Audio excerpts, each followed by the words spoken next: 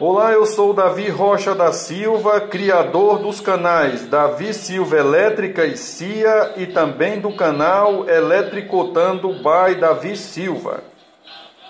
Hoje eu vou ensinar nesse vídeo como preparar o soro fisiológico para fazer inalação.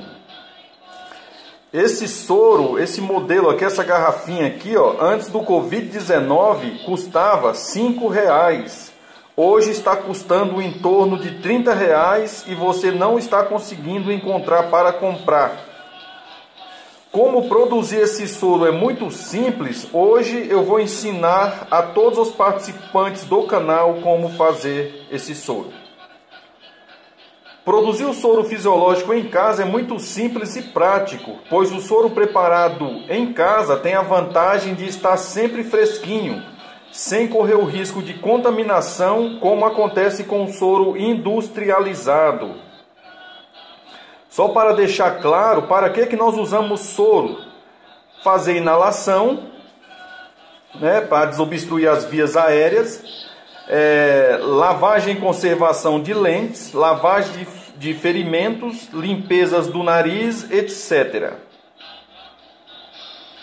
E como é que a gente prepara o soro? É muito simples. Bom, o que eu tenho aqui é o sal de cozinha, também conhecido por NaCl. O que eu tenho aqui é H2O, também conhecido por água. Essa água aqui, ó, ela foi fervida. Quando a água borbulha na chaleira ou em qualquer outro recipiente, significa que ela atingiu os 100 graus Celsius. Tá? Então essa água aqui borbulhou eu deixei por um minuto era borbulhando e aguardei para que ela resfriasse, para que fosse possível manusear sem o risco de queimadura. E como é que a gente produz o soro, né? O soro fisiológico para inalação. É simples, uma quantidade X de água, eu vou pegar aqui o sal, vou adicionar esse sal à água, vou mexer bem mexido até observar que não tem sal lá no fundo do recipiente, né? Dá uma olhada lá, ó. Misturei, misturei muito bem, olha lá. E como é que eu sei se esse ponto está bom ou não? O método mais prático é nós experimentarmos, pôr na língua, né? E nós vamos sentir assim um gostinho de lágrima, né? A, a, a, quantidade de sal aqui fica semelhante à quantidade de sal percebida nas nossas lágrimas. É claro que esse é o método prático de, de sabermos, né? mas existe método mais preciso através dos cálculos. Na maioria das fórmulas que você vê aí, ela indica 0,9 grama por ml, é, 0, é, 1 grama por ml, 3 gramas por ml, ou seja, é feito um cálculo um cálculo matemático para que você chegue a esse preparo de maneira adequada. Nós não precisamos de ter esse cálculo exatamente né, como pede, né, na, como é recomendado na, na indústria, na fabricação. Se você colocou na sua língua aqui, ó, e sentiu assim um gostinho de lágrimas, quer dizer que a quantidade de sal na quantidade de água está adequado para fazer a inalação. Aqui desse lado aqui eu tenho filtro, né? Eu posso também filtrar para tirar o sal que está precipitado, né? O excesso de sal que está na superfície ou que esteja na água.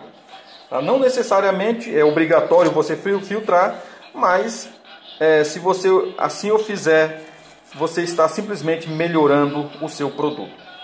Após você fazer esse preparo, é recomendado que você ponha num recipiente fechado, tipo esse aqui, né?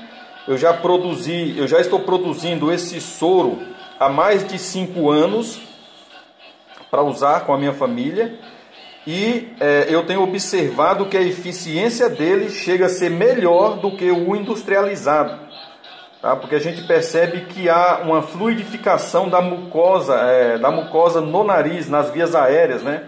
Quem tem rinite, quem tem sinusite, quem tem bronquite, tá? Então você pode usar isso aqui é, em inalação, esse soro fisiológico em inalação é, sem risco nenhum. Tá?